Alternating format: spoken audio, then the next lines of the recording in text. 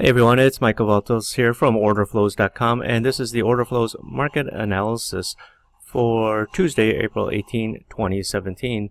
Before we get started, a brief disclaimer. This presentation is for educational and informational purposes only and should not be considered a solicitation to buy or sell a futures contract or make any other type of investment decision. Futures trading contains substantial risk and is not for every investor. An investor could potentially lose all or more than the initial investment. Risk capital is money that can be lost without jeopardizing one's financial security or lifestyle. Only risk capital should be considered should be used for trading. Only those with sufficient risk capital should consider trading. Past performance is not necessarily indicative of future results. Again, you know the reason why there are uh, disclaimers like this at the beginning of my presentations is because I don't want people coming in thinking you know that what I show them in the examples is 100% um, accurate. There are times that trades fail. Um, you know, I, I do try and show that when that happens. And, you know, trading is not easy. Trading involves work, right? Don't, don't think you're going to come to the markets and all of a sudden, you know, buy a $40,000 watch next week. Um, you know, maybe if you start with a million dollars, yeah, next week you can buy a $40,000 watch because that's all you got left. But, uh, you know, realistically, you know, the best traders, you know, they put in the effort, you know, they put in the work and it's not something that happens overnight for many people. And, you know, if, if people are, are selling you some, black box thing, thinking that it's going to make uh, all tons of money, you know, overnight, then, uh, you know, I got a bridge to sell you or some swampland in Florida. Now, the tools that are used in this presentation are the Order Flows Trader, which is a volume footprint chart. And, you know, I've, I've enhanced it a bit um, to take into account what I look at and what I use in the order flow. Again, you know, my charts make order flow trading a lot easier um, you know, it was designed for me specifically. Then people asked, you know, how can they get a copy? And, you know, I didn't set out to become a software vendor. You know, I, I, I don't like it per se. You know, I'd rather concentrate on, on the markets myself rather than, you know, answering support tickets and, and things like that. But, you know, that said, um, you know, there is value in using order flow and you know, part of me, you know, I, I, take it upon myself to educate people on, on how to use order flow. You know, there's a lot of garbage information out there. And, you know, hopefully by watching my videos, you could pick up some of the uh, insights that I've acquired in, in my 20 years of, of trading. You know, when I say 20 years of trading, it's not 20 years of trading for myself, you know, in, in my uh, home office. You know, I was, I was working at the biggest firms in the world. JP Morgan, I spent eight years there. Cargill, I spent four years there. Um, Commerzbank, three years there. EDF Man two years, you know, and before that I was on the CME floor. So this is solid, legitimate, you know, um, I don't want to call it not education, but you know, work experience. And you know, how many people out there that are you know teaching people how to trade, you know, have that experience? You know, not many. Um, you know, but again, you know, I, I feel like I, I have a, a duty to you know help people learn how to trade properly. Um, you know, some you know, some of my friends think I'm crazy for wanting to spend time with um, you know beginning traders and you know uh, you know because it's frustrating honestly sometimes but you know at the end of the day you know I, I feel good that you know people are able to make this make the change you know um, you know not everybody comes to the markets looking to make uh, you know a million dollars next week you know some people are, are just happy to make you know $200 a day in the markets and you know if I can help them then then great you know $200 a day is doesn't sound like much but you know over the course of a month you know, that, that, that's a huge difference in a person's income. And, you know, there's nothing, nothing wrong with, with starting small. You know, I mean, it's, it's a little bit, I'll say less stress, but, um, you know, anytime you got money on the, on the line, there is stress. But, you know, you, you got to start small. And again, there's nothing wrong. You know, as I said, for a lot of people, $200 a day at the end of the month, you know, is their house payment, their car payment, you know, kids tuition. It, it's a decent, uh, you know, it's a decent way to earn, uh, you know, a, a, second income, you know, especially if you're retired or something.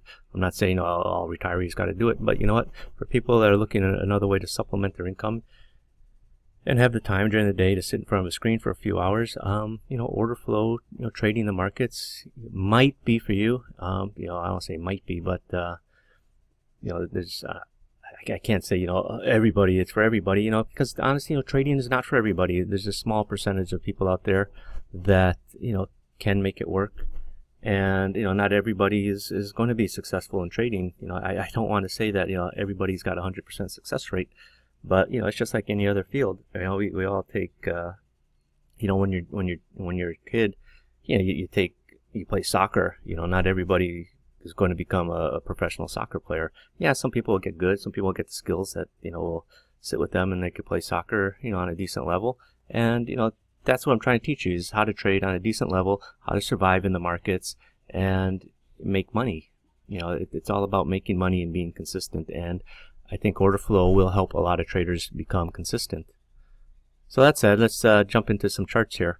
Um, the first one I'll, I'll, talk about this morning. Well, sorry, this is in the evening time, but um, you know what happened was uh, here. This first one is going to be in the bond market here. Just pull it in here so you can see it a bit easier.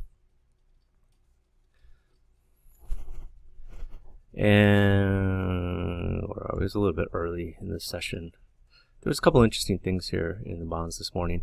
So, you know, just coming into the U.S. session, you know, the nice thing in the bonds, you had this divergence, you had a ratio, and again, you know, ratio and divergence, it's that's like a, a go-to trade for me. Um, you know, your, your ratios here, it's in blue numbers. Again, you know, if you're not familiar with my order flow ratios, you know, a lot of people have been adapting these and they don't explain it properly. But if you get my software, you know, I, I've got a, I've got some, I got a short PDF that explains, you know, how to use them. Um, you know, if it's a red bar, it's on top. If it's green bar, it's underneath. And if it's a blue number, you know, you like it. If it's a black number, it's just average, you know, your, your average order flow in the market. You know, not every bar is going to be so revealing to you that, you know, the, the mysteries of the world are going to be solved in the bar. No. Um, but there are times when, you know, something in the order flow stands out. And that's what you're going to look for in the, um, in the ratio. So here you have a divergence. You have a new high with a negative delta in our ratio. And we sold off quite nicely from the, uh, you know, 154.02 area down to 153.24. You know, this was just, you know, five, it was a little bit early though. 545 that had happened until about 6.30. But, uh, you know, if you're in front of your screens, you would have been rewarded. Now, another thing, um, you know, don't think, you know, just because you have a divergence, you know, where you have a new high and a negative delta that, you know, hey, it's a go, you know, it's, it's, um, red light, green light. No, you should take it, you know, with the order flow. You know, again, you don't have, here you had a blue number in the ratio, so it's a ratio I like. Here's, it's not, it's black, right? Here it's black, here it's black, and you'll notice each time these divergences fail. And when you start getting, you know, groupings of failed divergences, oftentimes it's a sign that, um, you know, the market could run higher. And we do. You know, you got three failed divergences, basically from 748 to 839, so less than an hour. And then a little bit later, the strength reappears, market makes new highs. So you had a sign actually earlier that, you know, here at 8, you know, just for 840, that this market, you know, if we start making runs at the highs again, watch out, we could go higher. And we do you know, we've got some new highs. Again, failed divergences. Again, we keep running higher here. Um, get up here. Again, you got another um, ratio with a divergence. You know, 28.41. You got divergence. You actually got the other um, indicator, the uh, delta scalper giving a sell as well. And again, it's, it's a nice little sell. Again, you know, now in the bonds, you know, bonds is a great market for trading in and out, you know, hit and run, hit and run, you know, getting, you know, risking four ticks, three ticks to get, you know, six to eight ticks. Um, you could do that several times a day. Again, you get a nice signal here. And it comes right down to this area where you got another ratio and, you know, bullish ratio. You got three in a row, which is another type of setup. And, you know, we just go higher from there until uh, 2 o'clock, which is when the cash closed. So that was the bonds. Now, um, another market I'll look at really quick is the uh, is the fives. You know, five years trade similar to the bonds. It's not exactly 100% uh, the same because you know obviously the bonds is more of a 20 year even though it's a 30 year contract it's more of a 20 year note that's based on um, but that said the uh, five years you know did give some similar uh, things again here you have a failed ratio with a divergence so again you know not every time it works get up here you got a, a ratio now it's 0.74 right I used I used to use point, uh, 1.0 but I've, I've tightened it up to 0.7 you know, this is just on the cusp of it. There's a couple other things. You know, you got this buying imbalance here at the new high, and you, you get one tick follow through, and then it fails. Actually, you know, for me, this is quite telling. Um, you know, you got the aggressive buyers coming in here, couldn't take it any higher, took it one tick higher, then it failed. You got the selling imbalance here, here, here. I know it sort of lights out this high for the meantime, at least, and then you sell off, um, you know, a few ticks. And then again, you get back up to this high. This time you do have the uh, ratio, 277, it's a blue number with the divergence yeah, you come off a little bit, then it just starts coming back again. You know, again, this one, you know, you would have taken a, a small loss on that. I, am not going to sugarcoat it and say, oh yeah, you could have broken even. No, you know, I'd be looking to get short somewhere in here around uh, 23 and a quarter. And, you know, it makes the move down to 22 and a half before it starts turning back up. You know, that's the sign to get out before you get stopped out up here is, is this um, single print here, you know, with a bullish ratio. You know, you don't want to be looking, you don't want to be short and then all of a sudden start to see bullish signals, you know, on the way back up. Here you get another uh, divergence, but no ratio. You got the price rejector giving a sell there. Um, again, some more failed divergences, you know, happening pretty quick. One, two, three. Um, you know, that's that's a sign the market can go higher. You know, you got from 927 to 1011 within 30 minutes. Uh, sorry, you know, about 40 minutes. Three failed divergences, and you know, when you have failed divergences grouped together, it's, it's often a sign of the market bumping higher, bumping higher, bumping higher, coming off a little bit, buying coming back in, making it go higher, and then boom, we just go higher, higher, higher. Then uh, that was about it. I think in the in the fives this morning. Yeah. Then um, it's the evening session already. Um, you know, lastly, or not lastly, there's a couple more markets I'll talk about real quick. Um, the E-minis, uh, really quick. Okay, so this is the E-mini daily chart. Okay, and you know what you got here the day before. This is well, we're in the evening session right now, so you got that small candle. This is yesterday. This is the 18th, rather. Trade date the 18th. This trade date the 17th. So this is Monday. Big engulfing pattern, right? Where all the candlestick guys, engulfing pattern, you know, sell, you know, mortgage the house, uh, get a, you know, loan on the car, just buy the shit out of this market, right? You got this, you know, you're coming down, you got a swing low, got a bullish engulfing pattern, get the long, get the hell long where what happened? We didn't do shit, right? We just we rallied a little bit, made a new high, sold off under pressure most of the day. So you know all the candlestick guys, and again, you know, it's not like a few people look at candlesticks. A, a fucking a fuckload of people look at candlesticks, and you know that, that was quite obvious in the morning. You know, all, all you know basically since the close of Monday, that you're sitting on this big bullish engulfing pattern. Where you know what happened? It failed, right? You know, I was I, honestly I, in the morning I was I was looking when we started rallying here. I thought, hey, maybe you know we're going to see some continuation. For me, the key would have been if, if we got up to 50, I think we could have pushed up another five, ten points, um, you know, to validate this um, bullish engulfing pattern. We didn't. We failed. Okay, so you know what to do. Um, you know, candlesticks are great when they work. When they don't work, uh, you know, you don't you don't hear a, a, peep out of the candlestick guys and just uh, you know go hide back in their caves. But um, you know, I, I say that I, I used to. I like candlesticks. Don't get me wrong. I like candlesticks, but um, you know, when they fail, they fail. I mean, just like any other, just like any other indicator. So the next one that I'm going to look at here is, is the 10 range E-mini, and you know, honestly, th this morning it was kind of uneventful actually in the E-minis. We had a very wide uh, value area, you know, coming into the morning, but a little bit later, uh, around 11, you had this interesting thing. Okay, you had three in a row, one, you know, three ratios in a row. You got the pullback, which I was looking for, you know, a pullback up to this point of control. Now, however, the only thing that throws the spanner in the works is one, I don't necessarily like to be getting short going into new lows, you know, even though I got, you know, a three in a row. You know, rather what I, me personally, you know, every trader is wired differently. I'm always looking for a reason to be buying it near a low if possible. And I get it. I got the ratio, I got the divergence right here. And you know, this trumps this. All right, so even though you're looking at this three in a row sell down here, I got to buy. I got a very strong buy. And you, know, you got to make a decision. Do you, what are you going to do? You're going to stick with this? You know, if you got short in here, uh, you know, up here somewhere on this point of control, it just went sideways on you. So even if you got short, you know, you wouldn't have been damaged too much. You could have taken either small loss or broken even. I'm not saying, yeah, you would have sold it here because you'd be looking to sell around, you know, between these two point of controls. Um, you know, so if you're getting short in here, you know, I'm not gonna say you could have covered it down here and made a point. No, that's bullshit. Most likely you would have broke even or taken a, a, a small loss.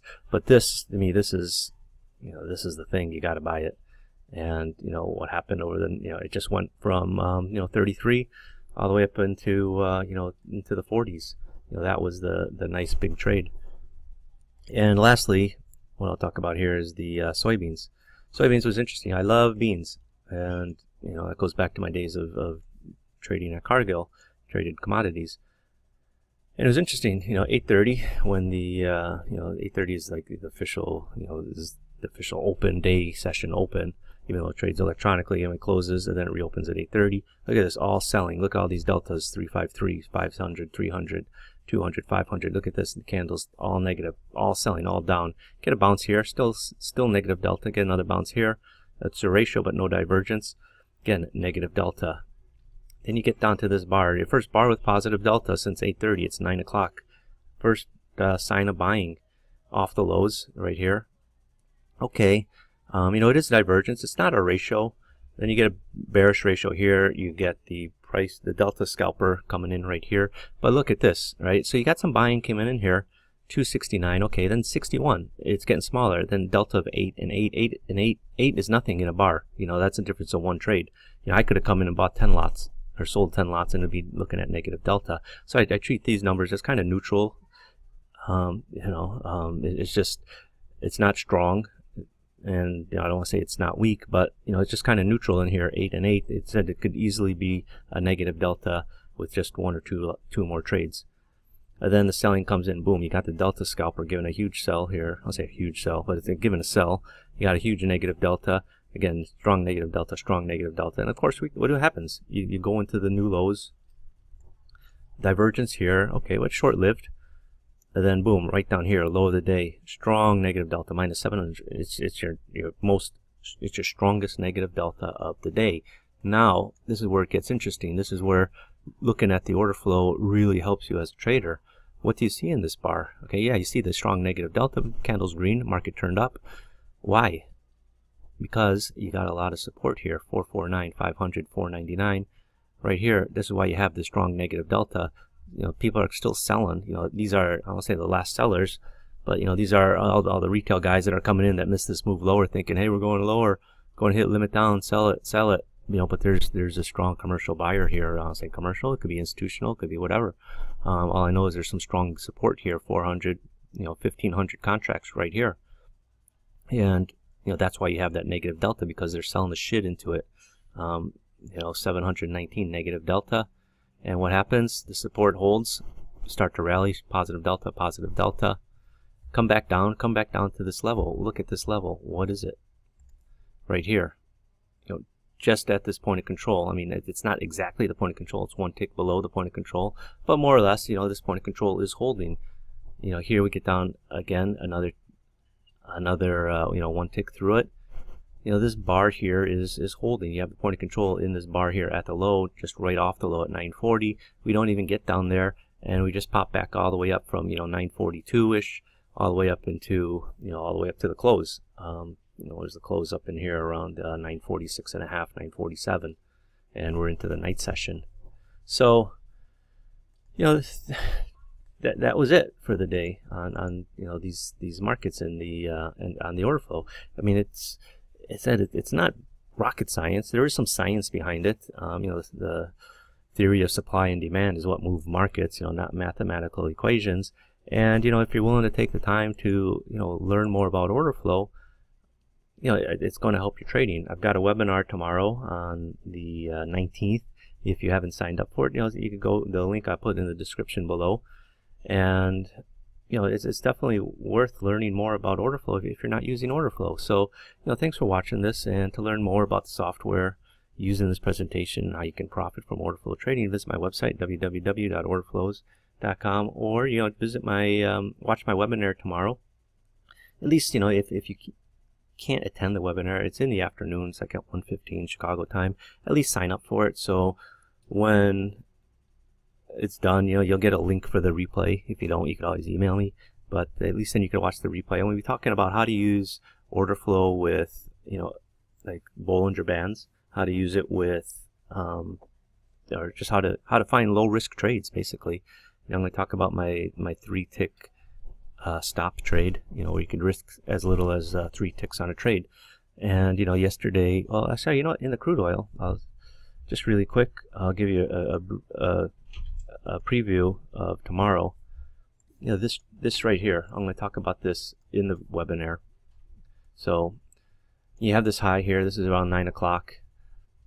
You know, I, am going to show you how you could have gotten short around the 52, uh, 82-ish area and it made a move all the way down to you know 52, you know below 52.60. So those 20 ticks right there, you're risking just three ticks. You know how you can sell this high with confidence.